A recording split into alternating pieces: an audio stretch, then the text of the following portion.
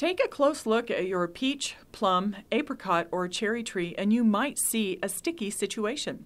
Sap oozing from branches and trunks can form large, globby, amber to dark brown coatings over the bark. Known as gummosis, there are several causes for this, one of which can actually be a fungus called Cytospora. Two subgroups of Leucocytospora cincta attack stone fruit trees and are found in all fruit growing areas in Colorado. Infection causes cankers that eventually girdle and kill branches or even the tree itself. Infected trees usually start blooming later, forming fruit that is delayed in reaching maturity and at risk from spoiling from fall frost and freezes. Spores of Cytospora fungus are on bark surfaces year round, but it's during fall and winter when they infect the wood, attacking when the tree is dormant and can't defend itself. The fungus grows in the bark during winter when temperatures are above freezing.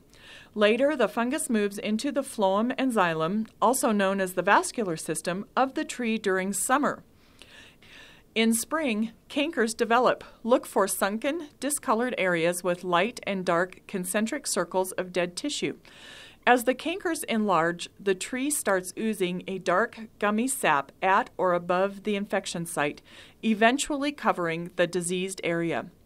This gummosis, the oozing of thick sap, can be caused by other factors that stress the tree, such as drought, injury, insect damage, or poor fertilization.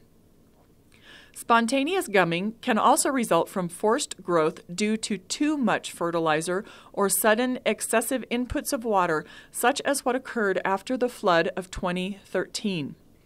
Even if the tree is dormant, the disease may be active, and pruning during this time is an easy way for the disease to spread.